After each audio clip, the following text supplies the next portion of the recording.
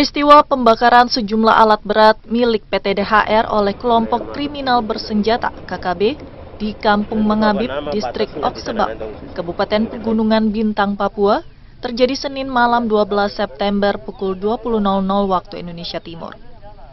Dari laporan yang diterima terdapat 6 unit alat berat yang dibakar KKB, yakni 5 eskavator dan satu bulldozer. Meski demikian, tidak ada korban jiwa dalam insiden ini.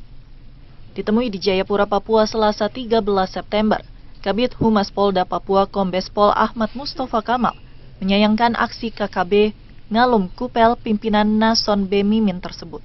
Dijelaskannya aparat gabungan TNI Polri tengah melakukan upaya evakuasi terhadap 10 karyawan PT DHR yang masih berada di lokasi kejadian. Uh, mereka melakukan pembakaran kelompok kriminal bersenjata ini terhadap enam alat berat, lima ekskavator dan satu bulldozer.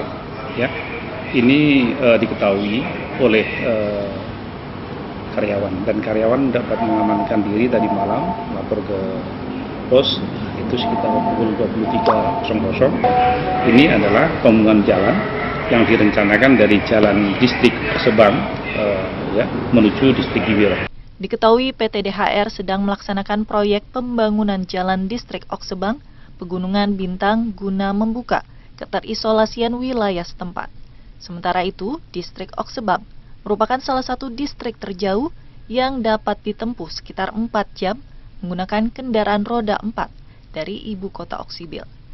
Dari Jayapura, Papua, Laksama Hendra, kantor berita antara mewartakan.